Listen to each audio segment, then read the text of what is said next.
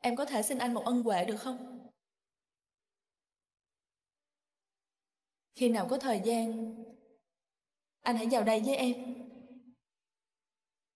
Em... Thực sự thì... Thực sự thì... Em rất cô đơn. Anh biết em đang nghĩ gì không? Cảm giác thật là dễ chịu. Lần đầu tiên ở bên anh, biết rằng anh là của em. Được cầm tay anh, được cảm nhận vòng tay ấm áp của anh. Vậy mà mới hôm qua thôi, em đã rất hoang mang. Em đã nghĩ... Cảm ơn em. Vì em đã yêu anh nhiều như vậy. Anh chỉ cảm ơn Su vậy thôi sao?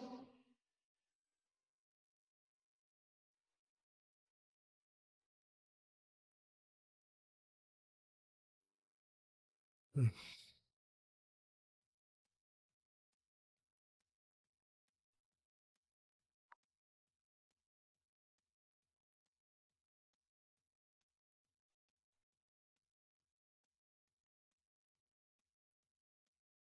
You're the one who set it up.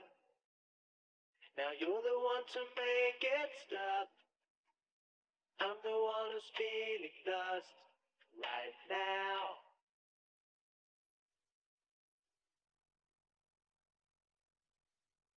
Alo?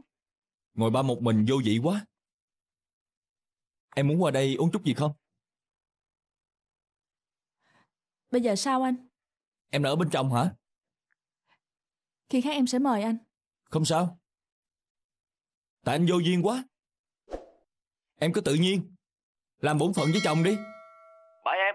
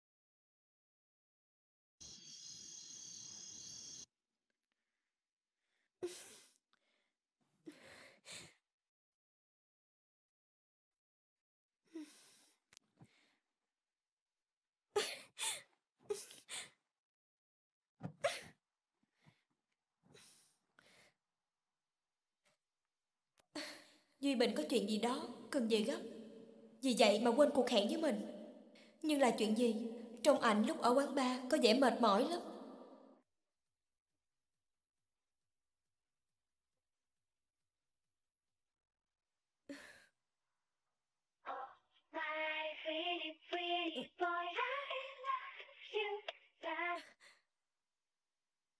Có chuyện gì vậy? Em ngủ chưa? Ngủ sao nghe điện thoại được chứ? Vậy hả? Anh xin lỗi vì đã phiền em lúc trễ như vậy. Anh đã để quên chứng minh thư của mình ở khách sạn. Khi nào á em về Sài Gòn, em nhớ lấy chứng minh giùm anh nha. Không thèm hỏi thăm mình một câu Em không rảnh Anh nhờ người khác đi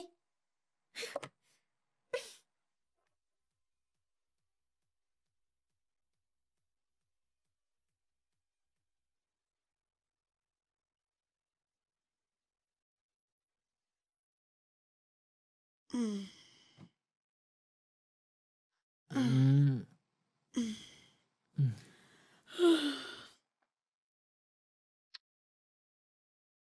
Chết rồi, trễ rồi.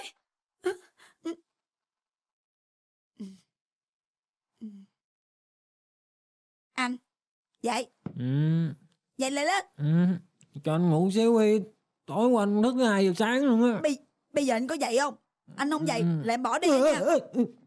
Bữa ăn sáng, em ngủ đi, để anh, để anh.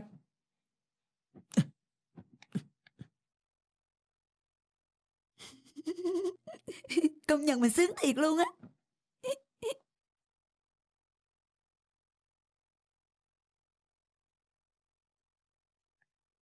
Mộc ơi Mộc, Mộc ơi Mộc. Dậy đi học con, trễ rồi con. Mộc.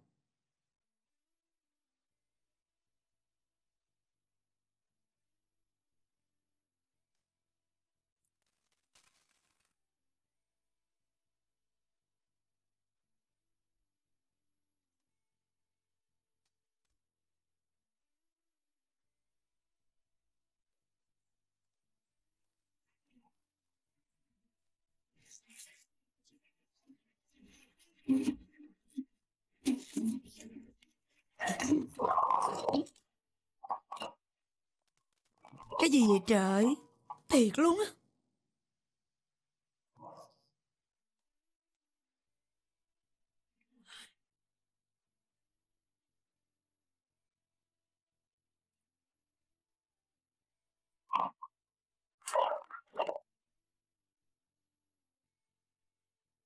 Ây da, Sao vậy con? Đi đứng mắt mũi để đâu vậy? mẹ không có rành luật giao thông gì hết á. Đường con là đường lớn, đường mẹ là đường nhỏ. Mẹ phải ưu tiên cho con chứ. Con đó nha, lý sự lắm nghe chưa? Sao sáng sớm lo chơi game rồi, không lo thay đồ đi học đi. Dạ con chưa ăn sáng. Có chuyện gì vậy em? Còn chuyện gì nữa? Cũng tại anh hết á.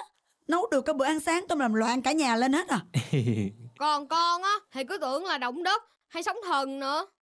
Bộ qua đây dựng giỏi gì nữa hả? Đâu có. Ba đừng có giấu, con biết hết rồi.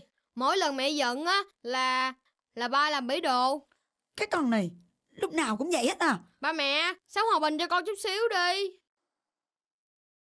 Còn đứng nó làm gì nữa? Xong đi nấu đồ ăn sáng đi. Ờ hát. Người đâu mà dũng về hậu đầu quá vậy không biết nữa.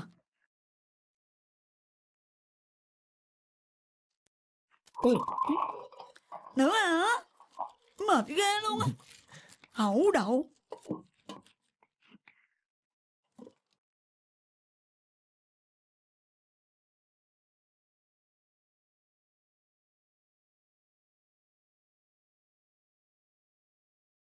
Em dậy rồi hả?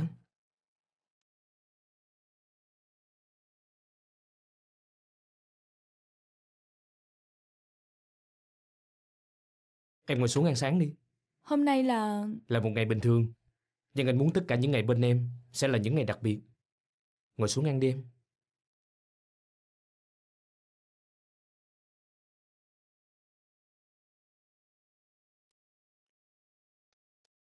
Em sao vậy? Hay em muốn anh đút cho em ăn?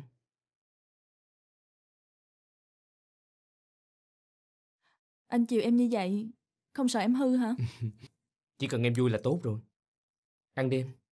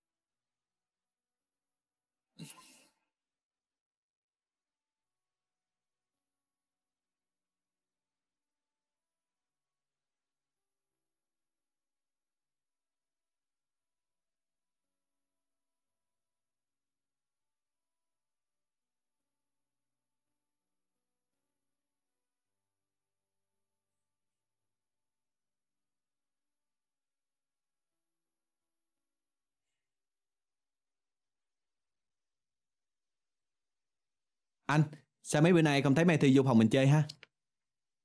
Hay là anh làm cho cô ấy giận rồi? Đúng đó, anh Duy Bình cư xử với phụ nữ như vậy là thiếu sót lắm á. Anh mà không thích thì phải để cho anh em có cơ hội nữa chứ. Chú thì bao nhiêu cho đủ. Chỉ được cái hiểu nhau.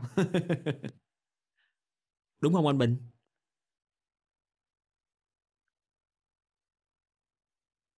Đó, nói tới là đi à.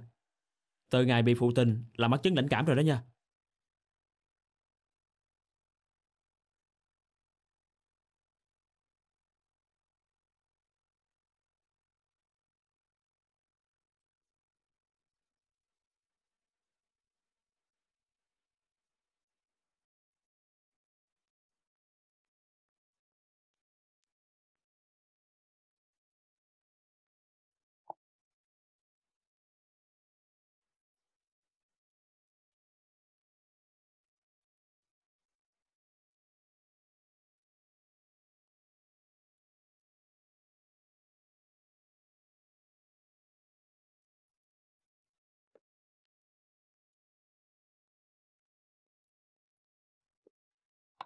Ủa? Em về khi nào vậy? Anh quan tâm làm gì? Nếu không quan tâm, em có giận anh không? Ừ. Không sao cả. Em có cái quyền gì mà giận anh chứ? Vậy là tốt rồi. Anh đang bị mọi người ở trong phòng chửi anh um sùm luôn. Vì anh không biết quan tâm tới phụ nữ. Bởi vậy á, không có cô nào là chịu để ý tới anh đâu.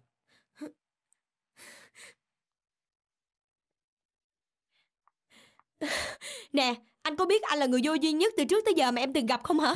Không. Em chửi anh đó hả?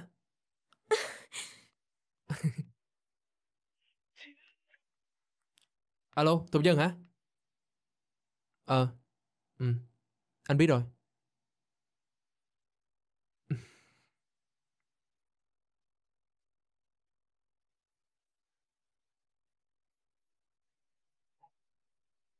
Chào quý khách. Chào cô. Tôi có bạn rồi. Dạ mời theo em à.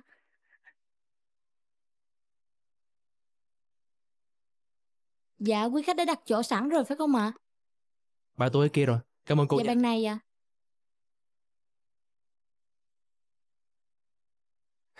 Tùng Dân. Anh ngồi đi.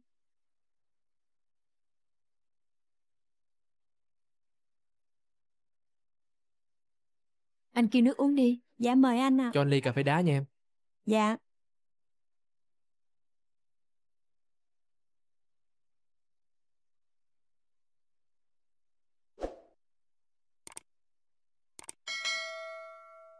Công việc của em ở hãng vẫn tốt chứ. Ừ. Anh đã tìm gặp Mạnh Khương. Phải. Để làm gì vậy? Anh có chuyện cần nói. Chuyện gì? Chuyện đàn ông với nhau. Em đừng có quan tâm. Chuyện của em em không thể nào em không quan tâm. Sao lại hồ đồ như vậy? Em đã nói với anh rồi, anh đừng làm như vậy kia mà. Anh không thể đứng nhìn em đau khổ. Em đau khổ thì sao? Chuyện đó thì có liên quan gì tới anh? Em và anh đã chia tay nhau rồi. Và em đã có cuộc sống khác. Anh đừng có can thiệp vào cuộc sống của em nữa. Cho dù em đã quên anh. Không coi anh là gì đi nữa. Thì anh cũng không bao giờ quên em.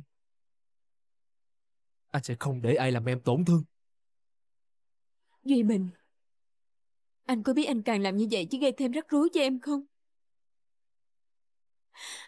Tại sao không ai để ý đến cảm xúc của em hết vậy? Em chỉ cần một cuộc sống yên ổn. Duy Bình, hãy để cho em bình yên.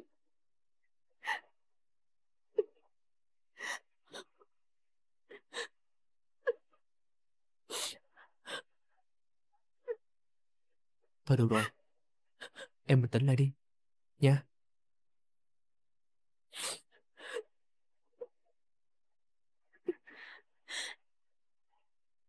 Duy Bình, anh hãy coi như chưa từng quen biết em có được không? Anh không thể. Em xin anh đó.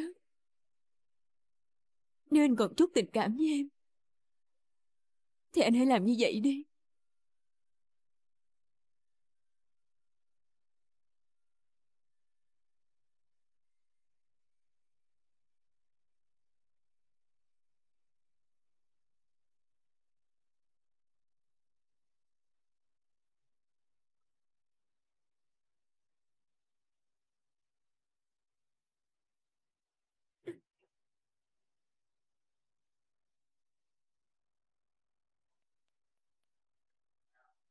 Mời vào.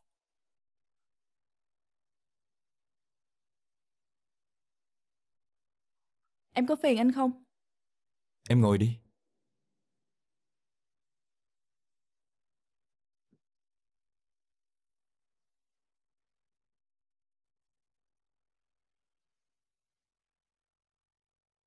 Sao? Em đang nhìn anh thương hại đó hả? Em chỉ đang dò xét, xem anh có giận em không thôi. Không ngờ lại có lúc em lại quan tâm đến thái độ của anh như vậy. Thiệt hạnh phúc quá. Anh lúc nào cũng đùa giỡn được hết á. Tối qua em xin lỗi vì không tới được. Lúc đó anh hơi say nên mới khùng như vậy. Chuyện đùm beng của em và anh trên báo chắc thuộc dân thất vọng lắm. Cổ cũng quen thôi. Với lại cô cũng đã từng là người trong nghề, cũng hiểu được cái thực giả của nghề này. Vậy mà không phải vậy. Ừ. Vậy mà không phải vậy.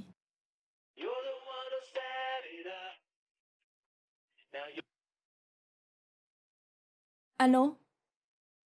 Dạ phải. Nhân viên hãng Sophia Plaza à?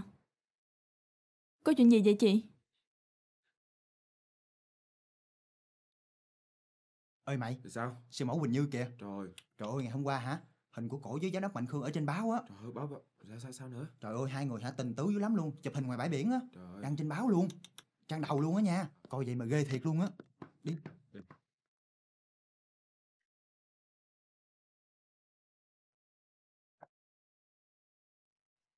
Ban giám đốc Sophia Laza sáng nay đã họp bàn về chuyện này.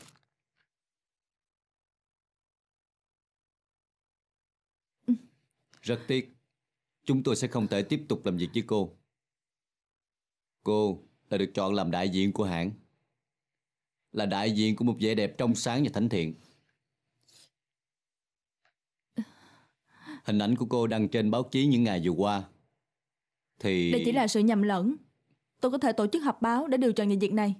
Chúng tôi không muốn gây khó dễ cho cô. Nhưng việc này đã ảnh hưởng rất lớn đến hình ảnh của công ty. Và có nhiều khách hàng đã phàn nàn về chuyện này. Đặc biệt là các quý bà và quý cô. Họ thấy mình không còn danh giá khi đeo trang sức của công ty chúng tôi. Tôi còn lại về những người đó. Trang sức với họ chỉ là để khoe mẽ. Ai thèm quan tâm tới danh giá hay là đạo đức.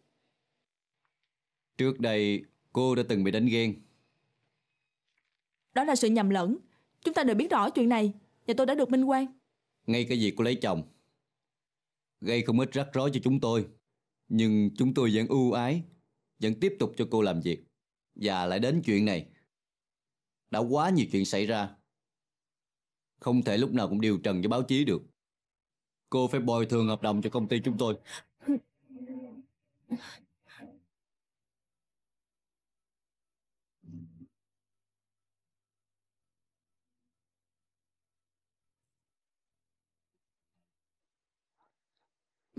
Anh, anh đợi em có lâu không? Em đúng là một viên kẹo ngọt ngào. Cái thằng điên nè. Định ăn tươi nuốt sống con nhà người ta hay sao? Mà gọi là viên kẹo chứ. Phải gọi là viên xí mũi mới đúng. anh á, chỉ giỏi nịnh à. Anh nói thiệt mà. Em biết giờ anh đang nghĩ gì không? Ừ. Anh muốn là được ăn một viên kẹo. Biết ngay mà. Đồ phàm ăn tục uống.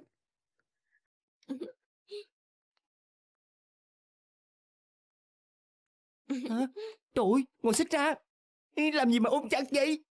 Ừ. Trời. Mình đi anh.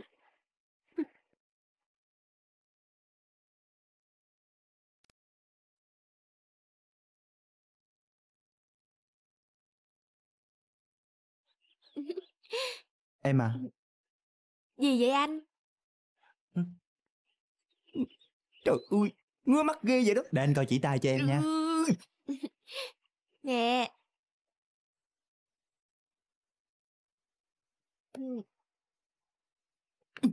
Ờ, ừ. Ừ.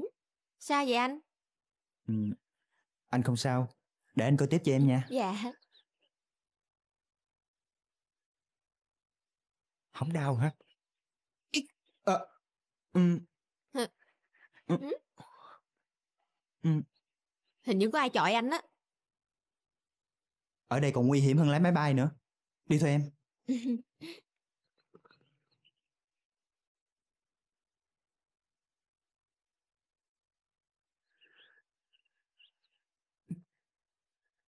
Anh kia.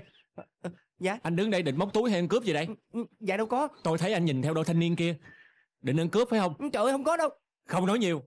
Mà anh về ban quản lý công viên để làm gì? mà. Thôi Đi. người rồi. Đi theo tôi. Ê, bên kia kìa. Ê, ê, bên kia.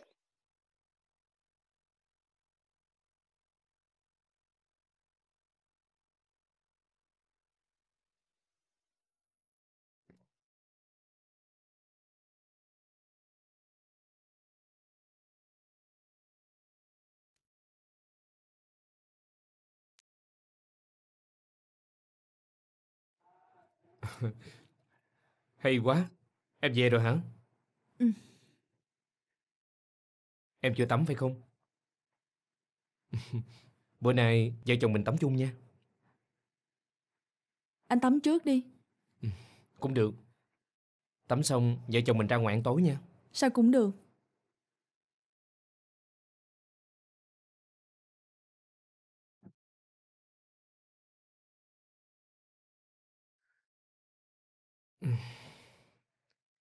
Em mệt hả?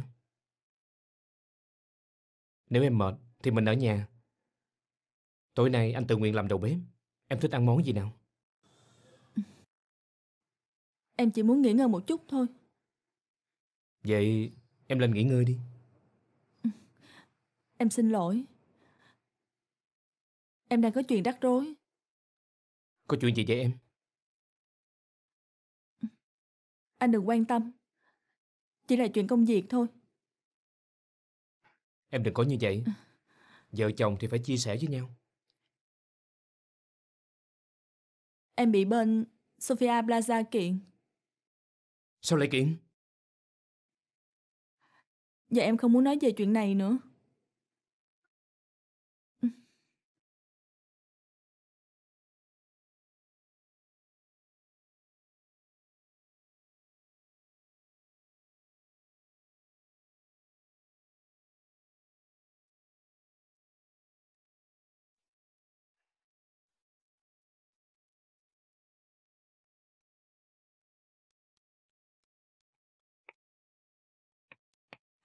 Ừ. đang làm gì vậy? Có cần em phụ không? Thôi em cứ nghỉ ngơi thoải mái đi. Hôm nay anh bảo đảm không rớt cái muỗng cái nĩa nào đâu. Anh hứa đó nha. Đừng có để thằng Mộc nó tưởng là ba mẹ gây nhau nữa đó. Em không tin anh hả? Anh, thấy gì đây không? Em mua chi vậy? Ờ, bộ em mệt hả? Ừ, anh lo cho em vậy hả? Ừ. Anh mà lúc nào cũng lo cho em. Ừ, em em thấy bất ổn với anh thì đúng hơn á. Anh đi làm cả ngày, tối về là còn lo nấu ăn nữa. Em mua cho anh tẩm bổ đó. Nhớ uống cho một buổi sáng nha.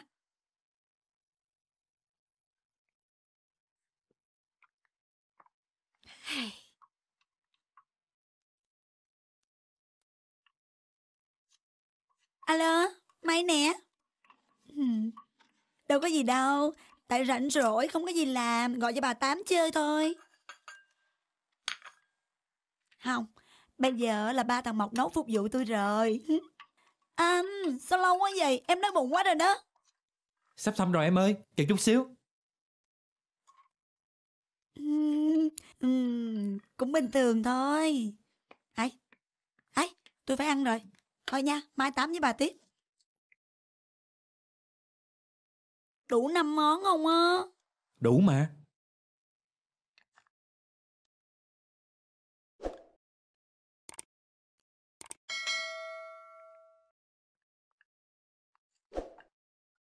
Ăn đi em.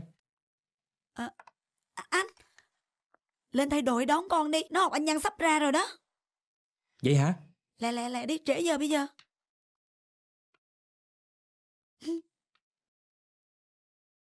Gì đâu mà thấy ghê. Gà thì sống nhăn, canh thì đen thui, rau thì không biết có rửa không nữa, thịt thì cháy khét, cơm thì sống nhăn. Ăn sao nổi mà ăn, cũng mai lại dụ ông đi.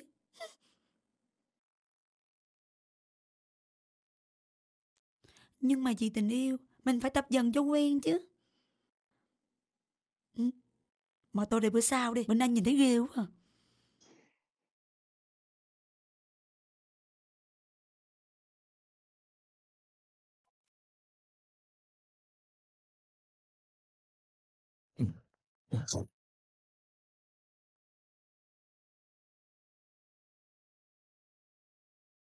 Em ở nhà đi. Cơm em đã dọn sẵn rồi. Anh chịu khó ăn một mình đi nha. Anh đang mệt. Em có thể bỏ anh mà đi hay sao? Anh à, trễ rồi em không nhờ người thay ca được. Không thay ca được, không nghĩ được. Lúc nào cũng một luận điệu đó. Gia đình này không có giá trị gì với em sao? Có giỏi em đi luôn đi.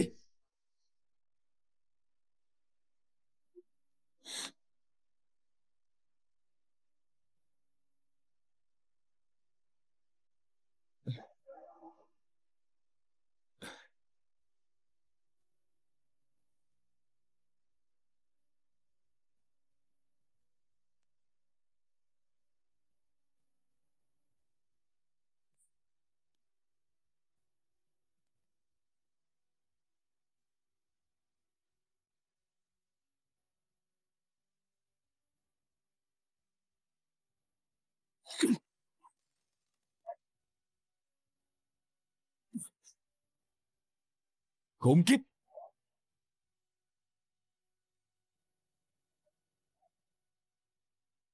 Ui da, xấu xa, đồ vô duyên Ông phá hỏng buổi hẹn của tôi rồi đó. Ui da, đồ, đồ, đồ, Trời đồ, đâu đồ xấu xa. Đồ, Ủa hư rồi hả? Hai người chia tay rồi hả? Biết ngay mà thằng hèn. chia tay rồi á thì còn có tôi nè. Ây da, đồ quẻo hả? Ui dạ. Thừa nước đục thả câu hả? Không bao giờ có chuyện đó đâu nha. Đừng có mơ. Thằng cha đó có gì hay hả? Mà bà cứ cặp với hắn hả? Sao không hay? Hay sao bà kể tôi nghe liền coi. Ừm, Thì um, Ảnh là phi công. Phi công á Thì tất nhiên Hình thức hoàn hảo rồi. Sức khỏe hả? Number one luôn. Ừm, Ảnh còn nhiều cái hay lắm. Mà nói ra kỳ kỳ sao á? Ý bà là bà để thằng đó làm cái gì rồi hả? Ừ. Cái mặt bà nè. Ừ. Son môi thì bị nhòe. Phấn mắt thì mờ mờ. Vậy là hai người đã làm gì rồi? Còn làm cái gì được hả Ui da. Tại ông Tất cả là tại ông á Sao ông theo dõi tôi Sao ông ném đá ổng Để ổng sợ Bỏ về luôn à Phải vậy chứ. Không là uổng công á. Thằng Tú này bỏ cả ngày không bán hàng. Lần sau á Mà còn giở trò Tôi kêu công an bắt luôn Dù ai nói ngã nói nghiêng. Lòng ta vẫn vững như kiền bá chân.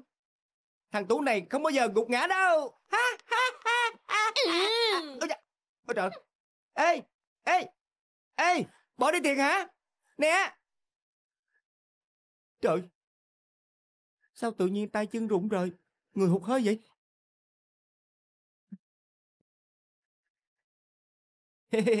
Cảm ơn mày. Không có mày á, tao đã kiệt sức vì tình yêu vĩ đại này rồi.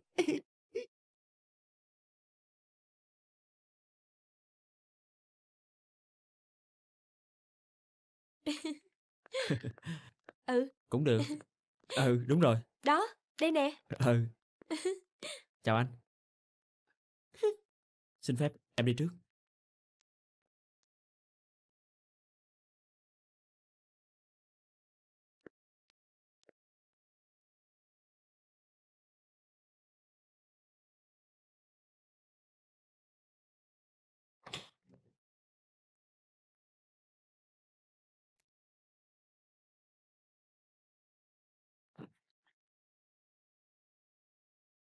Chết cha. Hôm mà Dũng Tàu mình hẹn với cổ. Mà quên mất tiêu.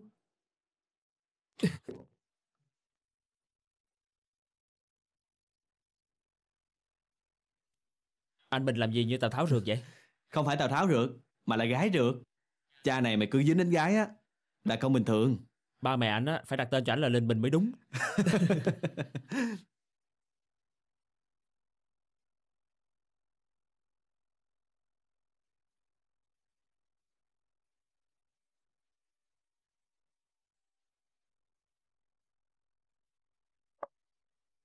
Trong hợp đồng lao động em đã ký với bên Sofia Plaza đã có ghi rõ các quy định về quyền lợi và trách nhiệm. Ở điều 3 của hợp đồng có ghi rõ người mẫu, tức là bên B, không được gây ra một vụ tai tiếng nào gây ảnh hưởng hình ảnh của bên A. Nhưng chúng ta có thể trần tình lại về việc này. Đây chỉ là một sự hiểu lầm. Họ chỉ có thể kiện nếu đây là sự thật. Nhưng chúng ta có thể nhờ đến báo chí thì họ cũng có thể nhờ đến báo chí. Hơn nữa, em trước kia đã từng dính vào một vụ scandal đánh ghen. Tuy đó chỉ là nhầm lẫn, nhưng nếu báo chí xoáy sâu vào vấn đề này thì sẽ rất bất lợi cho em. Trong hoàn cảnh hiện tại, tốt nhất là chúng ta nên tìm cách thương lượng với phía bên Sofia Plaza. Thương lượng bằng cách nào? Nắm được điểm yếu gì đó của công ty này và khống chế họ. Nhưng mà để làm điều này rất khó và mất rất nhiều thời gian.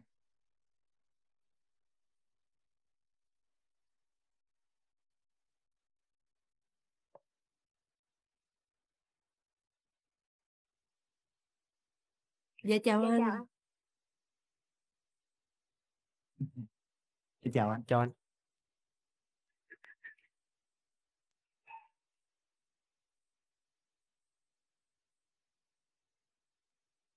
Mai Thi.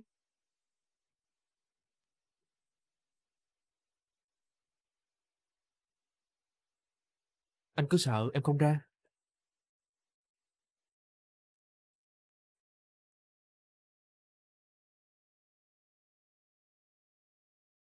Chuyện gì? Anh nói đi. Em giận anh lắm phải không? Tại sao tôi phải giận chứ? Thôi mà, anh xin em đó. Anh biết vì sao em giận anh rồi. Tại bữa đó anh có công chuyện đột xuất. Anh phải về Sài Gòn nên... Ừ, Hôm nay anh đền em nha. Em thích gì nè? Ờ, đi quán bar hay là nhà hàng? Em không cần. Em bỏ qua cho anh lần này đi. Chỉ lần này thôi. Nha. Với một điều kiện. Ừ. Nhưng điều kiện đó thì không quá khó. Lý do anh lỡ hẹn em là gì? Ừ. Thì anh có chút chuyện. Chứ không phải vì anh có hẹn với một người nào đó quan trọng hả? Ờ, Đâu có. Anh có biết là anh nói dối rất dở không? Ừ, Tại anh thật thà mà. Em tha cho anh đi. Em cứ giận như vậy, anh ái ngại lắm. Em nhìn thấy anh đi với một cô gái. Nếu em nhớ không lầm, thì cô ấy chính là Á hậu thực dân. Em không theo dõi em đâu, chỉ là vô tình ngồi chung quán thôi. Nhìn hai người có vẻ thân mật lắm. Thật ra đó là... Anh không cần phải giải thích hay thanh minh gì cả. Chúng ta cũng chỉ là đồng nghiệp và không tới mức thân mật để cần phải biết những chuyện riêng tư của nhau. Nhưng xin anh nhớ cho, nếu hẹn ai thì đừng bỏ người ta giữa đường mà không một lời nhắn nhủ gì cả. Ờ,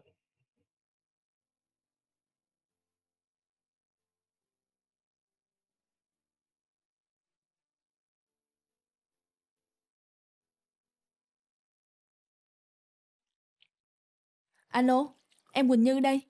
Anh có cách gì giúp em không ạ? Dạ, em biết là khó. Nhưng anh thử cố gắng giúp em được không?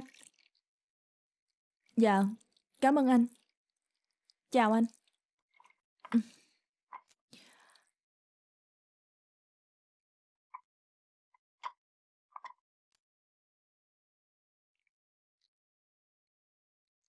Alo. Dạ, chào anh. Anh còn nhớ em không? Dạ. Em có chút gì cần nhờ anh giúp? Anh bận hả? Dạ. Thôi em chào anh. Bận bận bận. Khốn kiếp. Lúc cần tới mình á thì cười cười nói nói.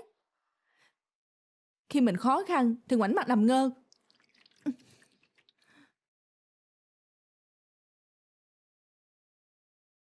Thôi, em đi nghỉ đi. Từ tối tới giờ, Em gọi mấy chục cuộc điện thoại rồi. Em đang cần tìm người giúp đỡ. Nếu bên Sofia Plaza mà khởi kiện, thì hoàn toàn bất lợi cho em. Hay là mình tìm một luật sư giỏi để giúp mình chuyện này. Em rối rắm lắm. Em cũng không biết phải làm sao nữa.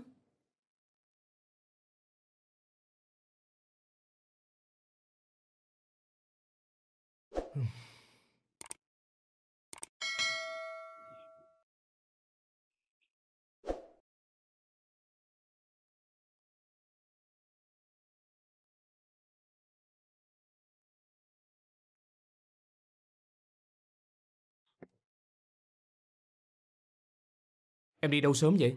Em phải gặp vài người nhờ giúp đỡ. Cứ ngồi ở nhà vậy, em không chịu được. Để anh thay quần áo, rồi anh đưa em đi. Em đang mệt, lái xe không an toàn đâu. Để anh nha. Không cần đâu anh.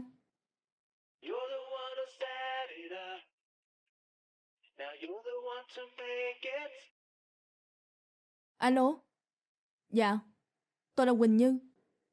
Luật sư của Sophia Plaza à? Ừ, dạ, anh cứ nói.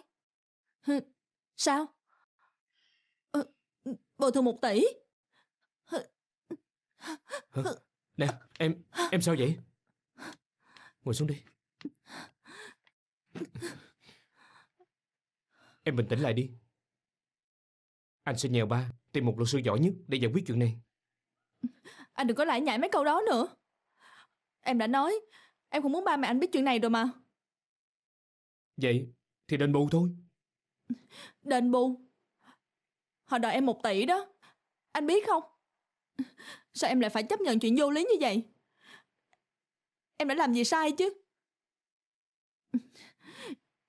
Không được. Em không thể để mọi chuyện như vậy được.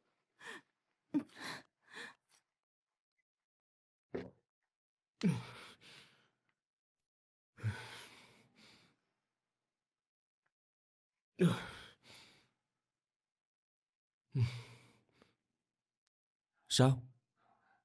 Có chuyện đó hả? Sao không thấy cổ nói gì với tôi hết trơn vậy? Thôi được rồi. Để tôi gặp cổ coi sao. Vậy nha.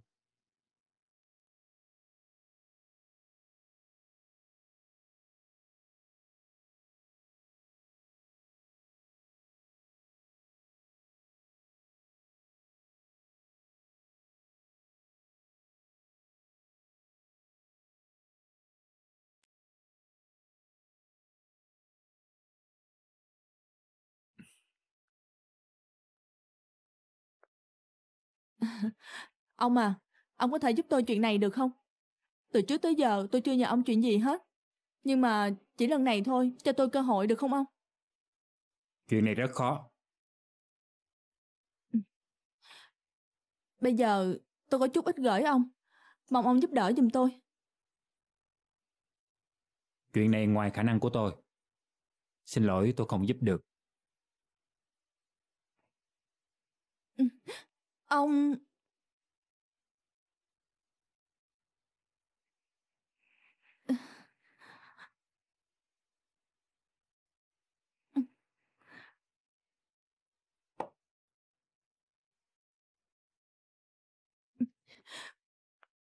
Một lũ hèn.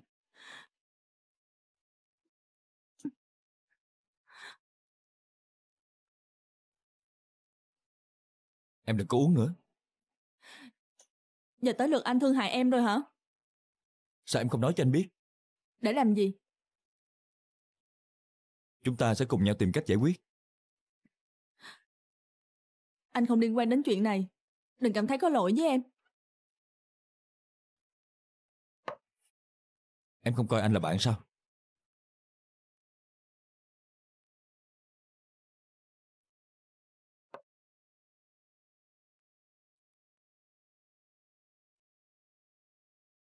Đi thôi. Giờ không phải lúc ngồi đây uống rượu, đi.